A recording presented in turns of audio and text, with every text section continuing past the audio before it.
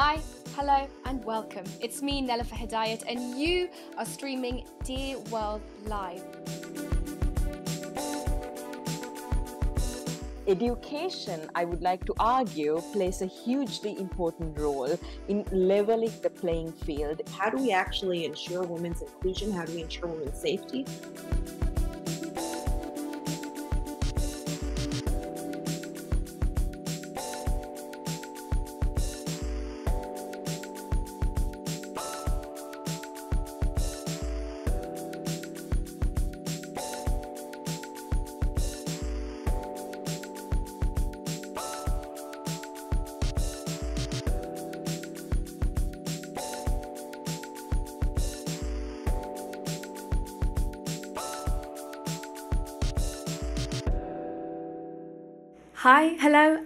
Welcome. My name is Nella Hedayat. This is a special edition of Dear World Live brought to you by Doha Debates. We are indeed in Milan, brought to you live. I've never said that before. The show is usually online, and I have my wonderful guests as little squares on a board for me. So, this is indeed a treat for me.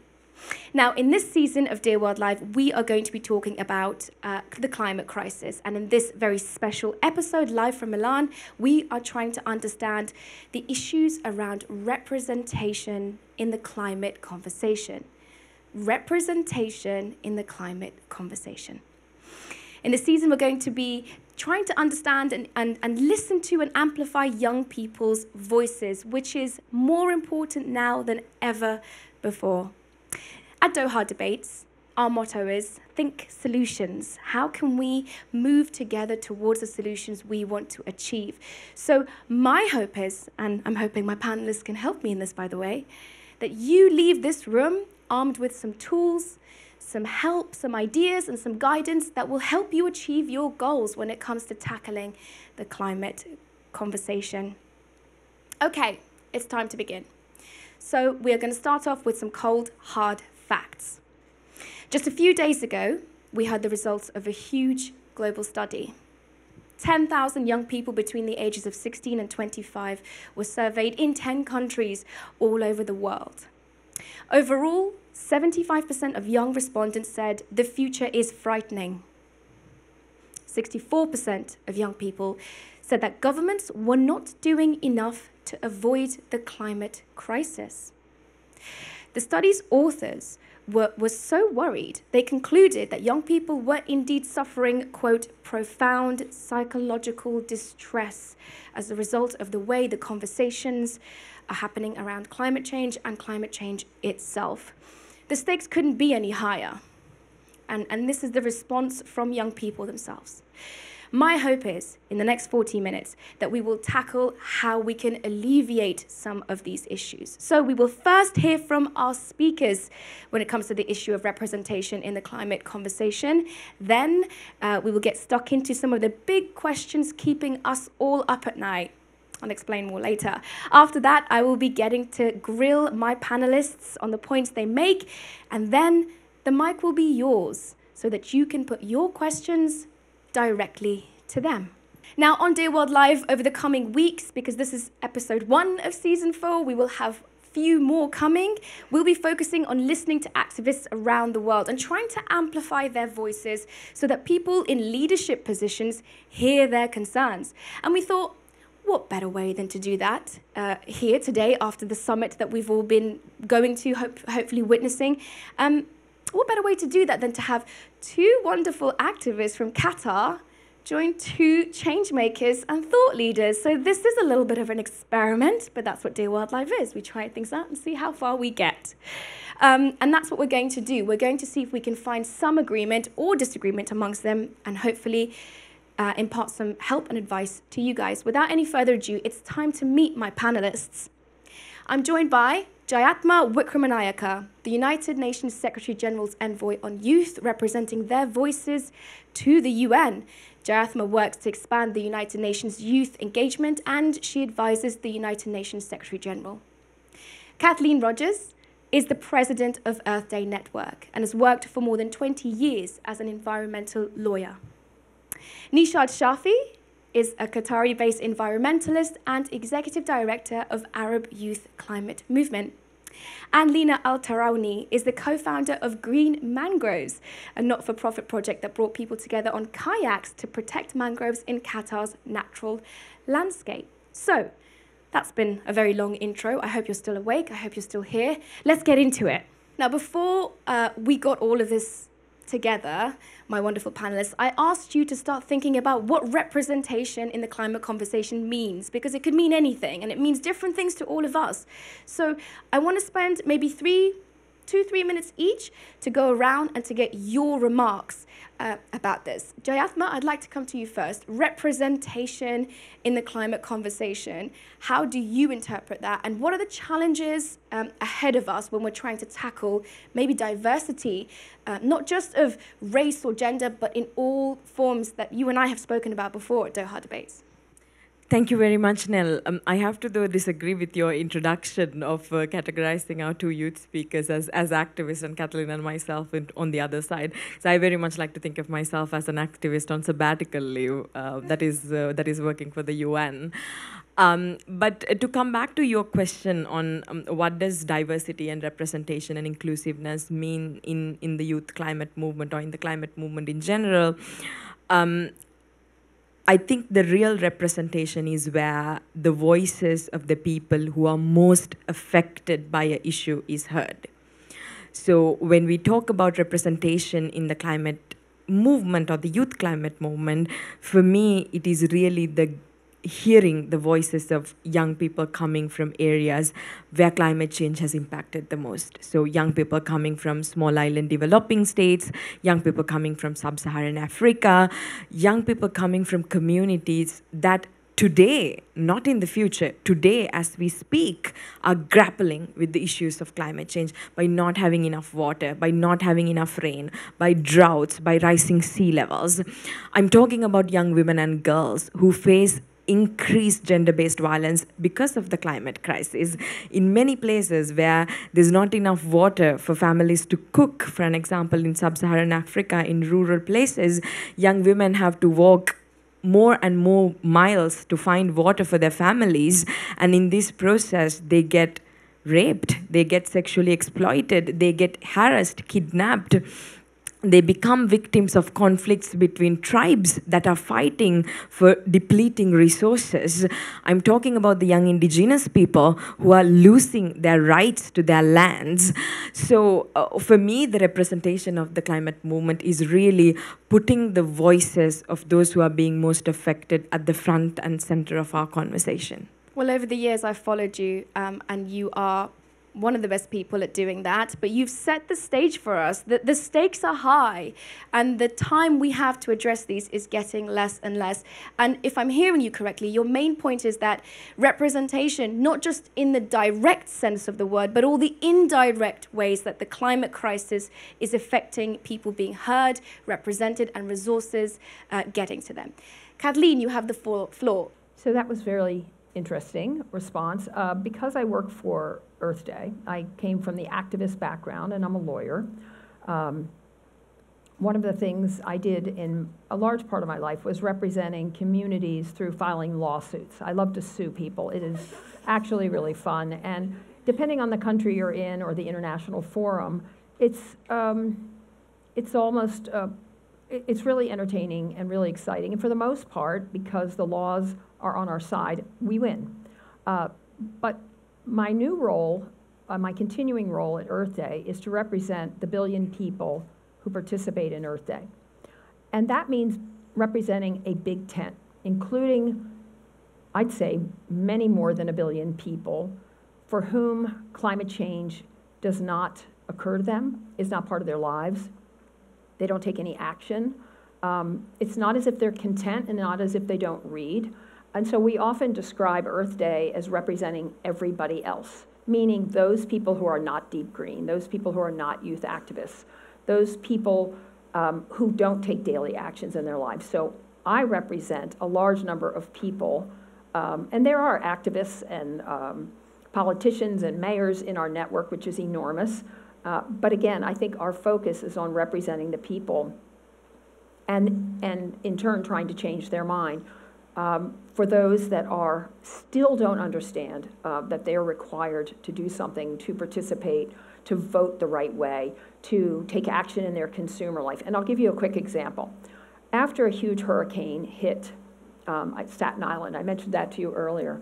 Um, it's a conservative area of New York, which is odd. New York's very progressive, and um, basically the hurricane mowed down the entire community. And they interviewed a bunch of women after the event who had lost all their houses. And 100% of them said, when asked about climate change and would they become advocates, they all said no, this was a one time event. They weren't interested, nor were they compelled to take action to change their leadership in their community or to deal with those obvious questions that presented themselves. So, in addition to representing activists and representing green greenies as we call them i'm in this weird position of also having to represent and change the minds of those people who don't care Thank you, Kathleen, that's an incredibly important point. So, if I'm hearing you, what you're saying is representation isn't only about the people that elect and put themselves forward and say, hey, hey, listen to me, hear me. It's about the people that are either disenfranchised or just don't have the information in order to be represented in the first place. Food for thought. Uh, let's get to our other two uh, uh, uh panelists. Neeshad, over to you. Representation in the climate conversation. Okay, so I'm going to share my personal experience of representation. What you asked right now was back in 2015 when I got to attend the COP21 in Paris, and I saw there was a vacuum of uh, young people from the Arab region as such. So when I had the discussion there, I understood that young people were in part of the climate conversation, like it was all whitewashed by the global north. So why wasn't the young people from the south, including West Asia, was not part of the larger conversation beyond their country because it's not just one country issue. So that motivated me to understand that uh, the stakes are high and all the young people, like what we had today at the, the Youth for Climate Summit, representation is key from region, beyond religion, indigenous community, from all walks of life. Can be an engineer, a student, and even can be uh, as young as like 15 or 12 year old, which I met here was profound example for me to say how we can represent young people.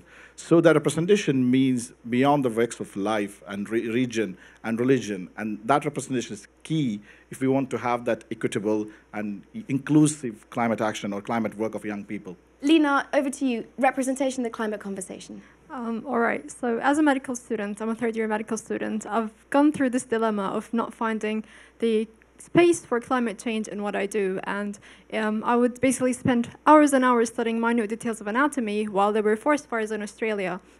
And I would feel so confused and angry at the same time. And I would think, had I studied ecology, for example, or policy, I would have been able to make bigger change. Uh, but then I realized that we can create spaces for climate change conversations in whatever field we actually choose.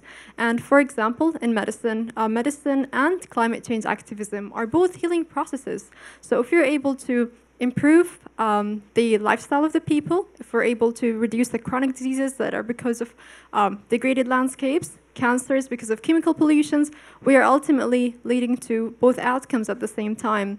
And there's been this amazing pilot project in Norway that actually investigates um, building wooden cabins and regenerating landscapes for pediatric patients who live who go to hospitals. Um, so if we're able to basically find climate change in whatever that we do, so we don't find this gap between going to work one day and then oh, I'm a, a climate change activist on the side. They can be both brought together, and I think representing climate change in whatever that we do is something we can all look forward to. So we've heard from my panelists exactly on what we mean by representation and the varied ideas of what they are. The idea that it's not just one group of people that should be holding the mic. Lina uh, talking about the climate. You don't stop being an activist when you start work or go home. You are an activist and you must find climate change and, and, and, cha- and changing the scenario or the context of it in every area of your life. So now we move on to another section of the show. Every night when we go home and we go to sleep, and it's two o'clock in the morning, sometimes our eyes ping open and we're like, the earth is on fire. The floods are coming, the hurricanes are getting worse. These weather events that we were told were once in a lifetime are happening again and again. And sometimes, I bet, the climate crisis just keeps you up at night. So I wanted to spend a little time asking you the questions that keep you up at night. Because when it comes to the climate crisis, sometimes it's very hard to connect with the issue itself. but the questions are all there innate in all of us. So if I can just come to some of you here at the front row and ask you, when it comes to the climate crisis, what kind of things are keeping you up? If you tell me your name and then just, just give me what, what's on your mind. My name is Noura, and what me, keeps me up at night is thinking about the people who don't have access to resources to amplify their own voices, especially people in developing countries that technology is not a viable option to have their voices heard diverse economic backgrounds. That's a really good one. So, how can people who are disenfranchised in that way engage with the conversation? What about you? Hello, everyone. My name is Mariam, and as someone with experience in advocating climate change and climate action, what keeps me up at night is like when I started, I always wondered how do I take action? How can I be a part of this? Who do I go for? Very good. And what is your name and what is on your mind? What keeps you up at night? Uh, my name is uh, Abdallah, and uh, I'm a climate advocate, and what's keeping me up at night is the, the fear of my voice not being heard and included in the climate conversation. Uh, and be, because the countries and governments aren't implementing climate good agendas, climate positive agendas. So, getting that agenda, uh, getting climate at the top of agendas is something that you're thinking about. What about you? Hi everyone, my name is Kayana. What keeps me up is, at night is that I feel that youth are often sidelined in the climate conversation. So, how can we keep them con- continuously involved in this conversation. Very good. And finally, yourself. Hello, I'm Nathan. And as youth activists, we all want an end to the blah blah blahs. But I think that the lack of climate education makes us feel hopeless. And so, how do we empower this generation to finally take action? That is a good one. And, and in fact, it's so good, I'm going to steal that question for the next part of our panel because now it's time for me to grill you. That, that great question from Nathan should we be teaching uh, climate science in schools? Should we be teaching activism in schools? Should we be teaching how to be better local and international activists? At the moment, this is all extracurricular. So everyone who's in here cares about this. How do we get people who aren't aware to care? Jayathma, to you first with that question. Yeah, I completely agree that climate education is key. And yesterday I was listening to a panel that Kathleen was moderating at the Youth for Climate event that we are all here for in Milan, where she brought together ministers and young people together to have a conversation about climate action, um, climate education. And uh, what I learned was that from the side of the young people, that there is a huge ask that climate education be systematically included into educational curriculums. Because for most of us, we learned about climate change on our own. Um, I think it will be true for both of you. It's certainly for me. I did not learn about climate change in school, and I remember once seeing a magazine with a polar bear um, on, a, on a melting ice cap and thinking, oh, this is climate change. You know, this is something that happens to polar bears in the North Pole and not to me, where in my own country, Sri Lanka, um, farmers were committing suicide. Um, for um, not having enough rain uh, to do their harvesting and then not having enough money to pay their debts uh, because of the impacts that were caused by the climate crisis. So um, I think this type of awareness only comes to young people if it is a part of the information that you get as a young person when you shape your formative years. So for, for me, from me, it's a big yes for climate education. So, so Lina, let me come to you next. I just want to get your perspective on this. As I've been walking around the Youth for Climate Summit in the last two days, I've probably bumped into a lot of you here. Um, the, the general sense of anxiety, and even people saying the word depressed, like young people are depressed about everything that is and is not happening. It seems to me that we need to learn to better care for ourselves as activists. So, with that in mind, with so many of the people that I spoke to talking about that, what advice do you have for young people when it comes to prioritizing their mental health and well being as activists? Um, thank you for the question. Um, so, in climate change, it's so, so easy to stay up at night with all these questions because you just see the world that you really care about, the nature that you love so much, kind of dissipating into thin air. And um, my, like, throughout working with green mangroves, I think I realized that we have to act out of fierce love and not out of fear because say that one more time. I love that. I read her notes when she said this and i just fell in love that's a tweet. Okay everyone get ready for this tweet. Say it again. Uh, we have to act out of fierce love and not out of fear because we cannot really drive darkness out by darkness. It can only be driven out by light. So um, if you have that in mind, you really connect to these natural spaces. And I think that's what we do at Green Mangroves. We take people outside to the outdoors to explore these places, to look at the sparkling water, to see the flamingos. And once people connect with these places, it's so easy for them to fall in love with them. And people love what, protect what they love. So go outdoor, put on your hiking shoes, uh, go kayaking, go on a ri- bike ride, explore the world yeah, I think that's my advice. That's a that's a great bit of advice actually. Or go to the beach like I did, and you don't have to do anything. You just sit there and admire the lovely waves. Um, Neeshad, if I might come to you next. Another shocking figure that we heard, I, I mentioned earlier, is that 64% number. 64% of young people say governments are not doing enough to avoid the climate crisis. Imagine being a young person today, like many of you are, and feeling like your government, your leaders, don't have your future in their hearts and in their minds when they're making policy. I mean, that's, that's a grave concern. How do we convince our political leaders to stop talking like politicians and start acting like they need to save the world? Well, I mean, creating accountability is through some of the event, like what we did uh, the last two did, uh, days in Milan, is to make the leaders accountable. We are actually talking to the leaders face to face and asking you have been enough of talking. Now what we need is to action and has to be concrete. And the youth recommendation, which is coming out, is giving the clear pathway what young people want to see, not in like 2030 or 2050, in next five, two, three years. So they've been concrete on that. Of course, our leaders may leave you behind, but I think young people are making sure they would make their leaders accountable. Let me let me play devil's advocate, which is something I don't like doing, but I want to with, with, with you folks, our, our change makers or our, or, or our thought leaders. If you've been doing it for this long, Kathleen, and, and there's still a need for Earth Day, it means that they're not listening, are they? Because if they were listening, there would be no need for the work that you do.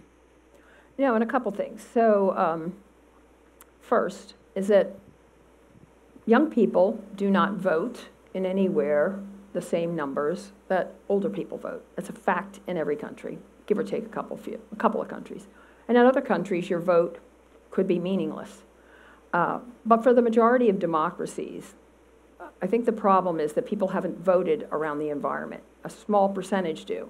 If we can convince people to vote for climate change leaders, those leaders that will take care of our needs and also project into the future and look ahead, then maybe we can change things. But as long as the status quo is maintained by leaders who give lip service to climate change, or in those countries um, where there's no. But surely we need the leaders before we can vote for them. I mean, who, who are we going to vote for if those leaders aren't there for us?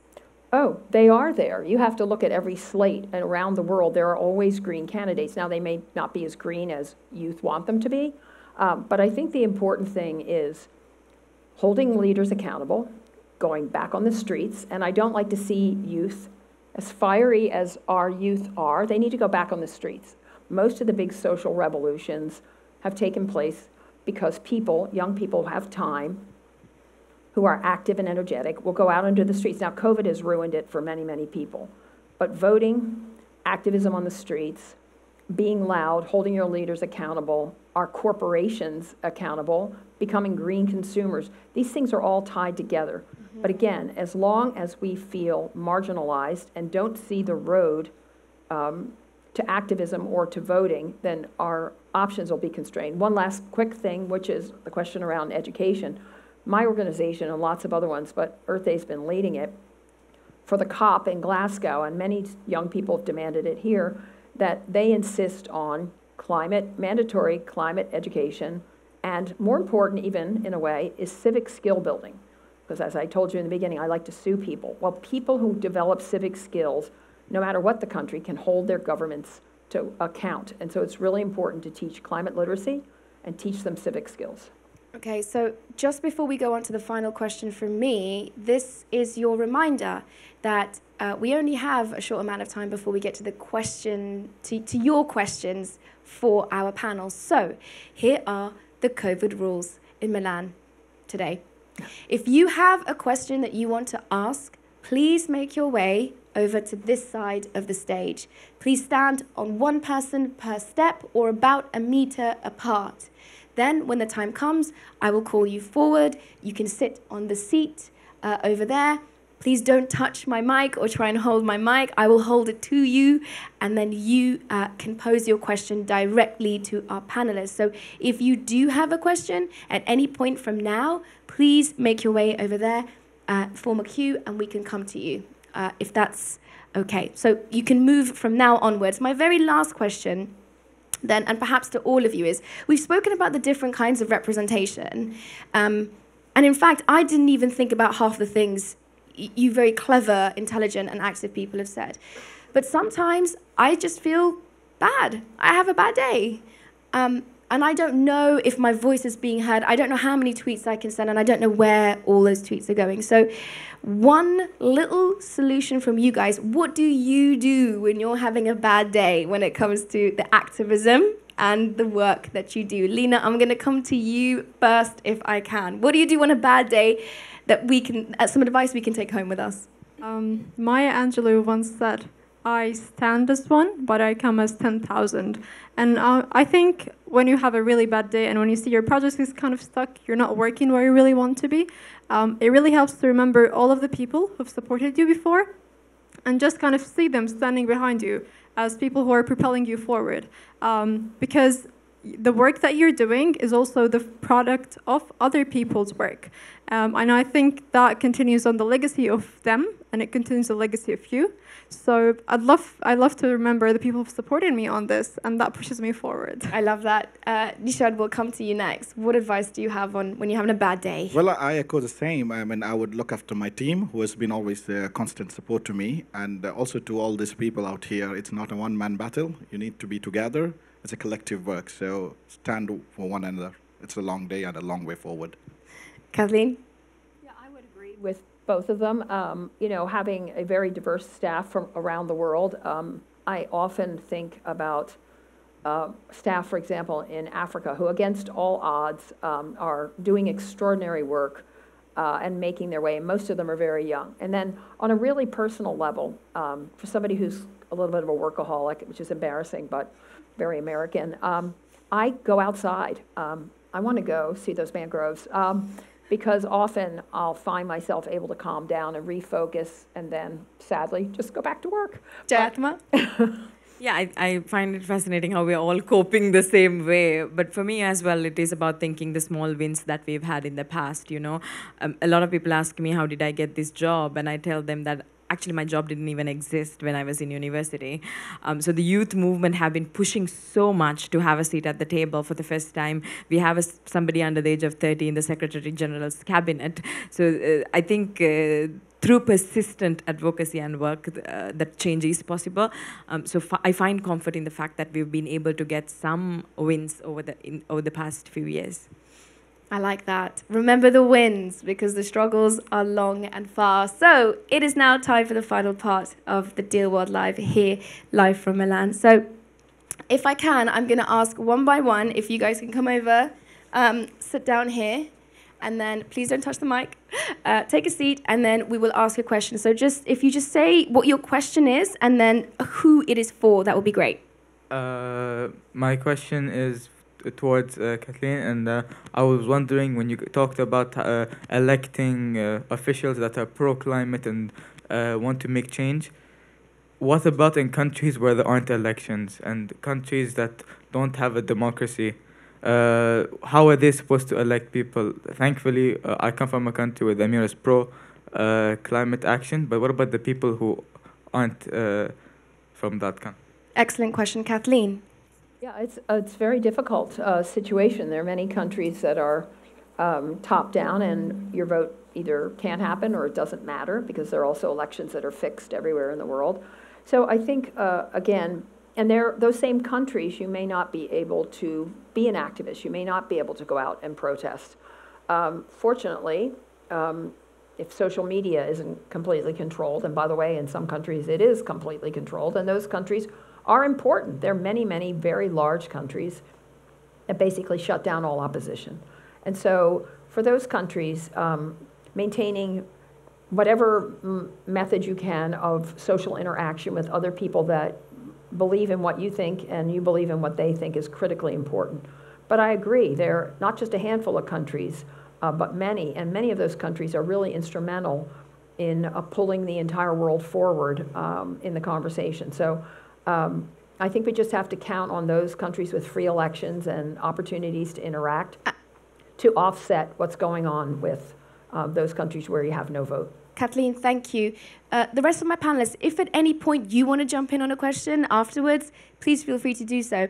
I am, for example, from Afghanistan, and the recent uh, events that have unfolded in the country that I'm from have seen what happens when freedoms, liberties, hard fought and hard won, are lost within the space of mere months. So for those of us here who do live in countries where we have a voice, where we're able to express ourselves, it is incumbent on us to do more. Jayathma. Yeah, I also just want to add to what Kathleen said. I think international pressure also adds a lot to, to push leaders to do better, right?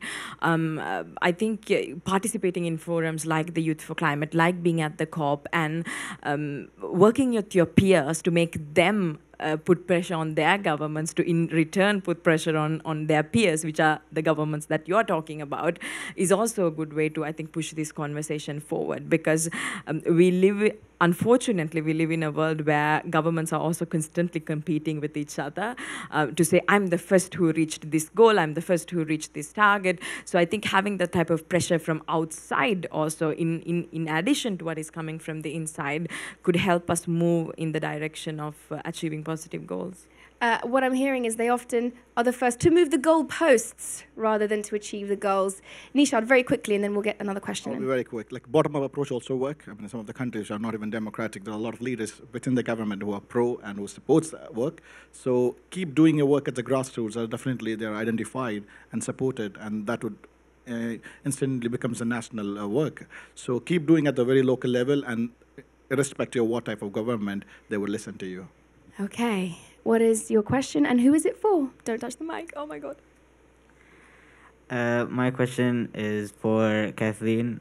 Uh, so, as the president of Earth Day, uh, do you think that the issue of uh, climate refugees is uh, already bigger? Oh, sorry, will get bigger than it already is. As I'm really worried about how like policies of governments can change and how, you know, people can act towards refugees. Kathleen, the question is, is yes, uh, quickly, yeah, I, I, got it. Uh, yes, absolutely. Um, climate refugees are already on the move. Um, they're at the border of the United States, and we're not treating them all that hospitably, and they'll be on the move. And many, many, many of them are moving north um, to get out of dry regions, regions with con other conflicts that, by the way, turn out to be environmental or climate related. So um, it's possible that a huge percentage of the world's populations will begin to move away from where they are. Even in the United States, we're seeing people move away from hotter areas and looking for some sort of respite from the heat, and we're just beginning to see it. So the climate refugee um, issue, if to go back to what keeps me up at night, is one of those issues. Jayathma, I want to come to you next because, uh, for example, on the continent of Africa, the largest cohort of young people to ever exist on that continent. More young people now in Africa than at any other point in human history. You represent them and their voices. The, keeping it real and making sure she's in the hot seat herself. When you are in those rooms, and, and I've made this point before, the climate activist movement is diverse and varied, and yet the leaders tend to be from a homogenous group, powerful men. And that disconnect can cause lots of friction. So, how do you represent those refugees or the future refugees um, uh, when it comes to kind of getting the voices heard on, on, a, on a national, international level? I think, first of all, it's unfortunate that at the UN we still do not recognize uh, climate refugees because this was a big part of the negotiations in the refugee compact, and um, governments didn't really agree to this language becoming sort of an internationally recognized language. But as Kathleen said, it's no longer about sort of some normative recognition, it is a reality that we are seeing right now. Um, but also, for an example, countries like Bangladesh are, are extremely vulnerable to mm. um, having climate refugees and of course, our friends who are living in the small island developing states um, already have indications by 2030, by 2035, uh, they will not have their homes or their islands. So it's uh, it's unfortunately now not not a choice, uh, but a reality for for many people who who are stuck in these. Um, conditions that they did not create at the first place, right? People in Bangladesh did not create climate change. People in Haiti did not create climate change. People in the small island states did not create climate change. So um, that contrasts with Nell what you are saying because. Uh, unfortunately, many of our decision making rooms are filled with um, mostly white men in suits and ties, right? That is changing. I think that's changing, but uh, slowly. Uh, for an example, today we had this dialogue with youth representatives and, and uh, ministers at the Youth for Climate. Majority of them were men and men from the global north. Um, so we had to really find those women leaders in the room to call them on and you know bring them into this conversation because this wasn't something that was happening by default. Um, but for an example, in the in the peace building sector, we say that when women are at the peace mediation or peace negotiation tables, peace agreements are 38% more likely to be successful than it's being negotiated with just a group of men. Um, so would, I would apply that same uh, principle or, or, or, the same uh, values to then also the climate negotiations and climate conversations to say not just women, but women of color, people with disabilities, indigenous people, refugees, everyone, the microcosm of society, should have a seat at the table when it comes to deciding these most important issues. Thank you. I've got a couple of more questions and I want to get to them before our time runs out. So, what is your question and who is it for? Uh, my question is how do we ensure that people who, as I mentioned previously, people who live in less economically developed countries, people who don't have access to technology, where technology and social media are not a viable option, can amplify their issues in the climate action conversation? And my question is directed to Ms. Jayathma. Jayathma. I think there are few different ways you can do that. I don't think uh, social media is the only tool or technology is the only tool that communities have to bring attention to the issues uh, that they're grappling with. Um, for an example, in this conference itself, we've had young people you know who are coming from the Caribbean to get today, for an example, coming collectively and and issuing a statement about the issues that they are facing in their countries. A young woman from Lebanon talking about you know are you crazy? You're talking about energy transition. Like my grandmother doesn't even have electricity in her in her house. So i think this type of real honest frank discussions need to be had that we are not all at, at the same level, even though we are talking about sort of the same policies or, or a same transition. So this common but differentiated responsibility, I think, is a very important uh, point we need to keep in mind. So we don't also put the responsibility on these people who are already struggling with these issues to now find their, themselves a way to express themselves or find solutions to the issues their communities are struggling with. We are thinking about it, and that is the most important thing. Lina, I just want to come to you. You live in a very, very a sort of technologically advanced country where especially the field you work in medicine is the future. You quite possibly are from the future. My question to you is do you ever get approached by young people who are not in, in that in, have access to that same thing? Have you ever been on panels or maybe workshops where where it's you and you're there or you're present or you've got that super fast broadband and you're able to tweet away? And the other person is probably from Uganda or Afghanistan and has dodgy internet and their voice isn't heard in the same way, literally. Uh, just, just an understanding from you as a, as a young activist. Yeah, so I've had an experience that was quite the opposite, actually. So we were presenting in Harvard, um, Green Mangroves, and um, there was a youth activist from uh, Kenya who was coming um, from there. And he basically had this huge social media following. He was well connected to the world.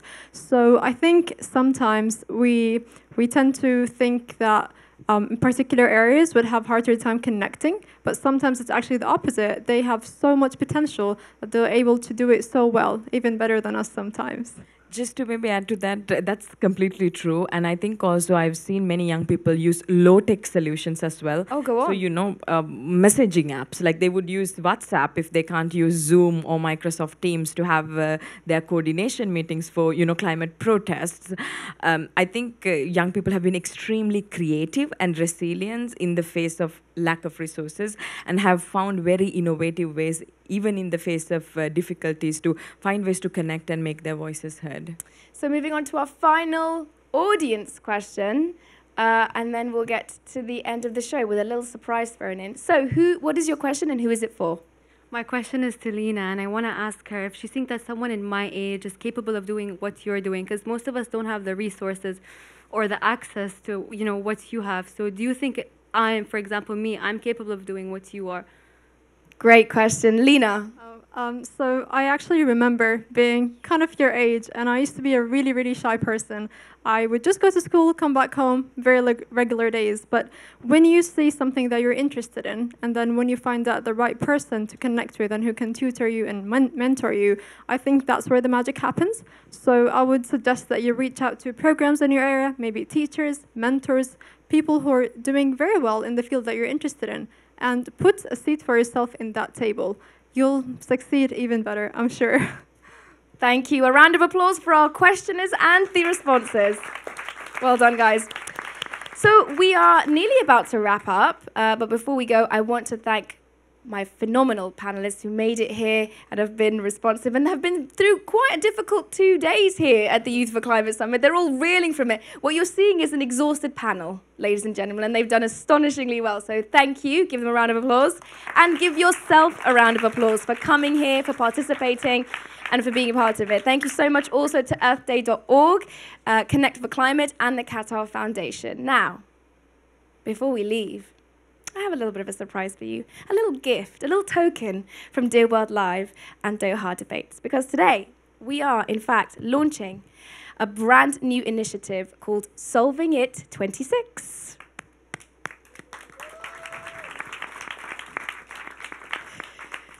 So, Solving It 26 is a brand new initiative in which we profile 26 astonishing, amazing, brilliant, I can't think of words hyperbolic enough, uh, activists, uh, leaders, and innovators within the climate change uh, conversation. In the weeks leading up to COP26, uh, climate change conference, we will salute 26 amazing young climate champions. We're going to do it over on Instagram. Uh, and we will be publishing portraits of our Solving It 26 list of young climate activists and innovators whose vision and whose work we hope will inspire and, and actually catalyze real change. And you'll learn all about them over the coming weeks.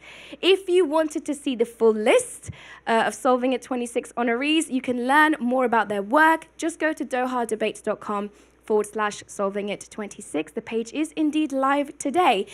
Go to Instagram, go to Doha Debates, follow us, and you will see uh, a profile portrait of every one of these. And, I have seen some of them. These are incredible people, and we can connect you uh, to their work. And so you can feel maybe inspired, maybe moved, maybe even think about um, some of the things they're doing um, as, as a way to catalyze your change and your movement forward. So we've launched Solving It 26 uh, with Doha Debates. Thank you for being here. Thank you for coming. A big thank you to everyone uh, who's helped us put this together live in Milan. Dear World Live, season four has only just begun. We have a show coming out that you can stream on many, many platforms on October the 13th, where Dear World Live will be discussing how we should change the way we eat and produce our food in the face of climate disaster. But for now, a massive thank you to everyone and a final round of applause for our guests and for all of you. Thank you and goodbye.